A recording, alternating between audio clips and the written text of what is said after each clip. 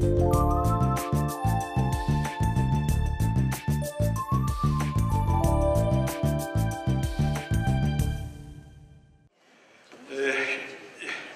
się odnieść do kilku kwestii tutaj poruszonych właśnie tak w, to, w tonie podsumowania. Po pierwsze podstawa prawna. Podstawa prawna ewidentnie istnieje. To jest artykuł w ustawie o samorządzie gminnym, który powiada, że wszystkie sprawy, które nie są ustawowo zastrzeżone do kompetencji innych organów, są zadaniem własnym gminy. Dalsza podstawa prawna to jak gmina sobie ułoży. I z, z nadzorem nie mają problemu ci, którzy układają to poprzez uchwałę Rady Gminy. Bo takiej uchwały nie da się wzruszyć, jeśli ona powołuje się na tę podstawę prawną i układa zasady. W związku z tym burmistrz powinien mieć rolę wykonawczą w tym wszystkim, bo wykonuje budżet jako całość. Druga sprawa dotycząca też podstawy prawnej, ano definicja budżetu partycypacyjnego może być tylko taka, na jaką pozwala system prawny, w którym to systemie prawnym dzisiaj w Polsce istnieją mechanizmy, które pozwalają obywatelom na podjęcie decyzji ostatecznej. To jest tylko referendum. Nie ma innej drogi niż referendum. Przypominam, że budżet to jest plan dochodów i wydatków i dzisiaj obywatele mogą zadecydować również o dochodach, bo mogą się samo opodatkować w trybie referendum, jak i mogą zadecydować o wydatkach, co kilka razy w Polsce się już zdarzyło.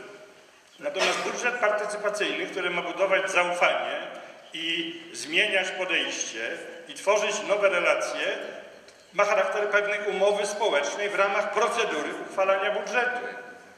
I czy, jeżeli chcemy budować e, zaufanie, to dotrzymamy obietnicy, którą daliśmy, że ileś tam pieniędzy wydamy w taki sposób, jak wskażą nam obywatele.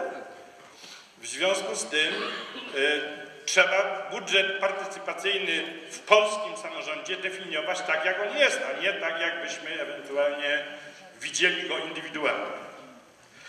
Tutaj na tej sali padły takie określenia, że ten budżet jednak mimo wszystko dużo zmienia.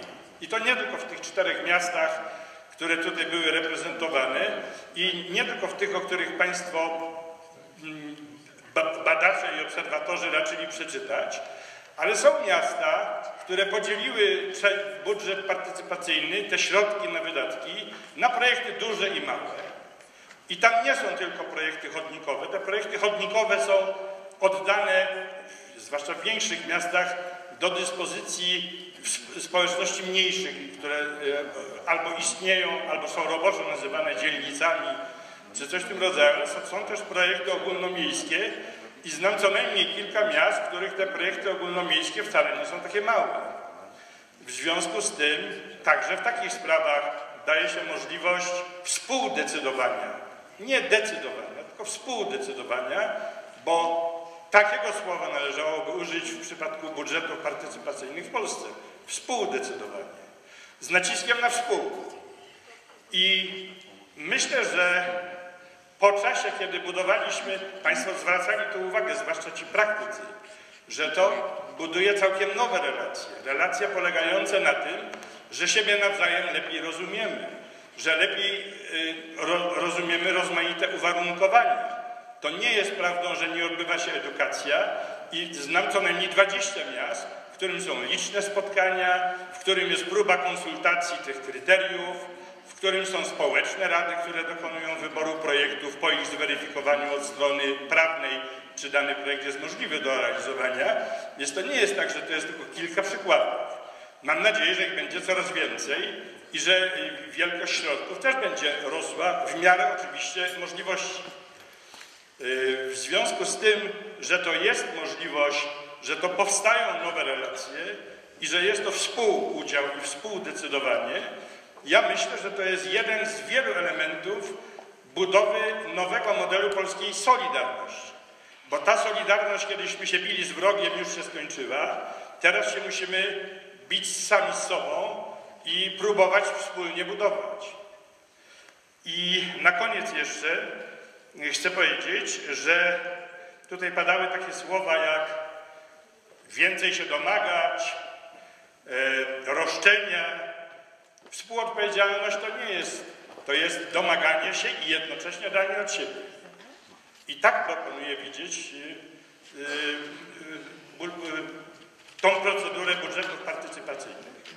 Ostatnie zdanie z mojej strony, że miasta wypracowały w różny sposób, w tym także w związku z pewnymi rozwiązaniami ustawowymi, o których zapominamy, też specyficznych dla polskiego modelu samorządności, 1% budżetów samorządowych wszystkich, bo ten 1%, o którym my tu mówimy, to jest tylko w tych miastach, które uczestniczą póki co w tym procederze. W skali całego samorządu to jest dużo mniej niż 1%, to co dzisiaj jest zaangażowane w budżety partycypacyjne ale 1% budżetów idzie przez organizacje pozarządowe w modelu współpracy, który ma swoje uwarunkowania, ale funkcjonuje i to z pożytkiem w wielu miejscach.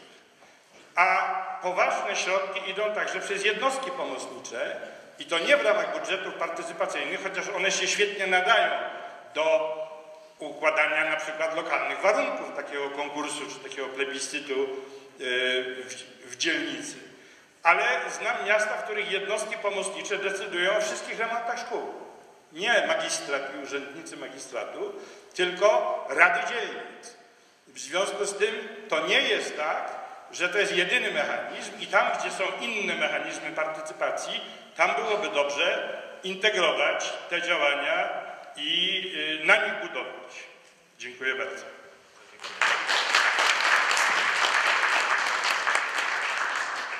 I tak stanowczo za dużo mówiłem, no ale zaszczyt e, jakoś nie podsumowuję, broń, broń Boże. Na kilku punktach z tego, co usłyszałem, usłyszałem wszystkich wypowiedzi, ale chciałem jakoś to zbudować. Pierwsza, ale też w związku z tym, że moi adwersarze nie mieliby szansy na publiczną polemikę, więc muszę być bardzo E, ostrożny. Ale myślę, jak słuchałem o tego, czy my mamy budżet partycypacyjny, czy nie, to jestem, jestem tylko krok od takiej epistemologicznej arogancji. To znaczy, bo jeżeli akademicy tak to... Znaczy pytanie, gdzie jest ten problem? E, e, czy my mówimy złym językiem, czy to co robimy, rozumiecie, nie ma jakby dopasowania definicji do desygnatu, tak bym powiedział. To jest jakie jest. To nie jest gorsze niż to, co się dzieje na świecie czy jest, tam pojawia się kategoria związania tego i bycia wiążącym. To ciekawe, bo wewnętrznie została udzielona sprzeczna odpowiedź. Właśnie istota tego polega na tym, i tutaj wszyscy, i to jest cudowne, że wszyscy powiedzieli, po tylu latach eksperymentowania z takim leninowskim podejściem zarządzania na szczytach, na ustawach, nie róbmy tego, nie róbmy tego błędu. Piękno, subtelność tego polega dokładnie na zaufaniu. Oczywiście, że to są konsultacje, ale ktoś tu doplnił. To są konsultacje, co do których władza polityczna składa promesę, że będą wiążące. To jest właśnie to piękno. One są w tym sensie wiążące. I przy tych frekwencjach, które są w niektórych miastach, gratuluję, gdyby w innych państwach europejskich takie frekwencje były w ogóle osiągane. Wiele zresztą mechanizmów partycypacyjnych, sondaż deliberatywny, komórki planujące, one wszystkie w sensie prawnym w większości nie są wiążące. One mają pewien element publicznej promesy i trzeba być politycznym głupcem, żeby na koniec powiedzieć, no ale to był taki żart, myśmy tylko próbowali. Ale owa subtelność budowania zaufania, którym ja Wam obiecuję, to powinno być właśnie przedmiotem szczególnej troski i ochrony. I dlatego tego nie, regulujmy i nie czyńmy wiążącym w tym sensie. Bo to to zabije po prostu, bo to będzie właśnie odczynienie tego, co jest istotą tego. Drugie, no ja nie wiem, bo tu też strasznie ciężkie były te armaty przeciwko e, e, budżetowi. Chyba nikt na sali nie jest tak naiwny, ja na pewno. E, I możemy zrobić jeszcze cztery konferencje o innych instrumentach, o innych, o dyskusjach o tym, co to znaczy konsultować co to znaczy partycypacje dotyczące różnych innych dziedzin, zarządzać partycypacyjnie instytucjami, upubliczniać dane o budżecie, dane statystyczne. To jest oczywiste, że mówimy o całym, całej klawiaturze, która jest potrzebna działając łącznie i uparcie, żeby to zrobić. Zastanawiałem się, czy istotnie my jesteśmy aż tak niemądrzy, żeby, żeby uznać, że, że ta guma do majtek trochę, mimo że to nie ja tego powinien bronić. Myślę, że jest tym bardzo jednak dużo przesady i mam wrażenie, że część osób mogła E, czuć się urażona. I ja, znaczy nie ja może, ale jakby to powiedzieć, jak słyszę takie rzeczy, to wraca mi raczej taki rodzaj platońsko-szumpeteriańskiego sceptycyzmu w sprawie demokracji. To znaczy przypuszczenie, że może poza nielicznymi osobami, część jest może na sali, ta gotowość obywateli do tego, żeby powiedzieć o sprawie strukturalno-systemowej na temat tego, w jaki sposób będziemy zarządzać całą oświatą, całą edukacją, bezpieczeństwem, polityką zagraniczną miast i tak dalej, jest skrajnie naiwna. Ludzie nie uczą się tego, to jest klasyczny argument. E, ludzie się do tego wychowują I naprawdę to, że mają rozsądek, i zgadzam się, że mają bardzo dużo rozsądku w tych małych rzeczach, które mogą nas trochę niepokoić, że głównie ga- gadają tam o dziurach i tak dalej. To też jest jeden z problemów, ale w tej sprawie naprawdę mają kompetencje, do tych innych muszą urosnąć poprzez proces refleksji, który mówi o tym, kurde, załataliśmy te wszystkie dziury, ale to nie chodzi o to. Kurde, wygraliśmy to i ja jestem z bogatej dzielnicy, ale naprawdę jest mi trochę przykro, że po drugiej Wisły, stronie Wisły są większe problemy i czuję się zawstydzony tym, że to wygrałem. Przecież Solidarność nie na tym w końcu miała polegać. Ludzie będą do tego dorastać. Kapitalna konstatacja kogoś tutaj z, z panelistów, że urząd się uczy, że to jest takie szarpnięcie wewnątrz, to jest mały okruch w systemie. On może być jednoprocentowy, jednoprocentowy czy mniejszy nawet, ale z punktu widzenia działalności urzędów, to, że oni muszą przeorać, przebronować, przejść w poprzek, nie ma znaczenia jaka to jest nawet kwota. To po prostu uczy zupełnie czego innego. Po stronie wreszcie obywateli, no wydaje mi się, że oni powoli, jak spojrzałem sobie, ilu kompetencji muszą się nauczyć, żeby to zrobić. Po pierwsze, muszą nazwać problem. To nie jest wcale takie banalne.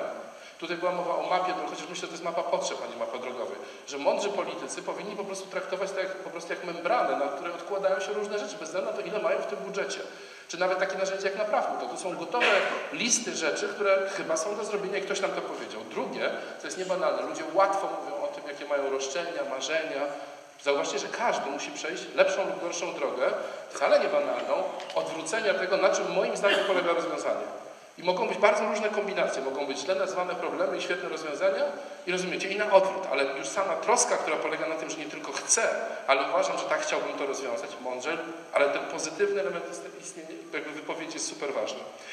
Wreszcie musisz budować jakieś poparcie, musisz umieć opowiedzieć o tym projekcie, musisz mobilizować wokół tego, do tego ludzi. To są wszystko kompetencje, które właśnie przenoszą nas ze świata dyskutowania o dziurach do, i tutaj chcę jakoś lądować, do wychowywania także ludzi, być może przyszłych przywódców, działaczy samorządowych w duchu odpowiedzialności.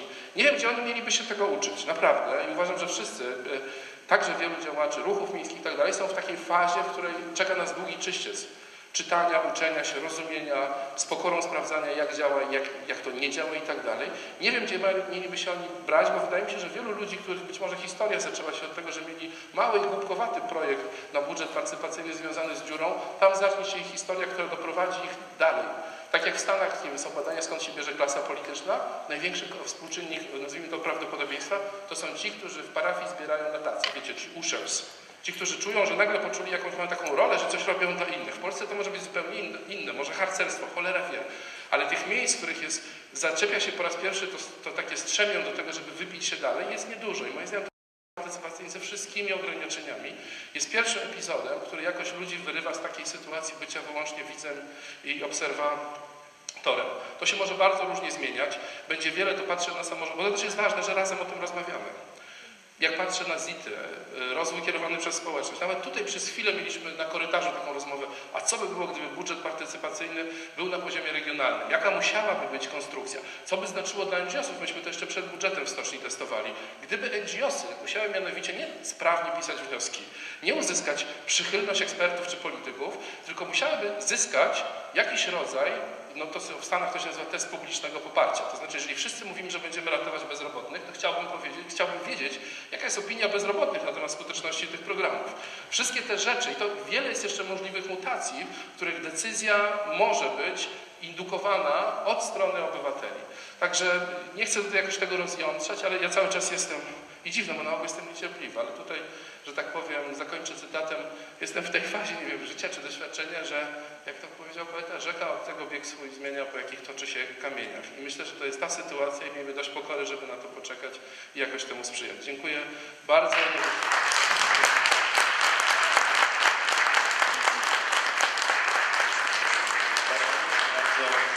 Bardzo, o, teraz to było bardzo.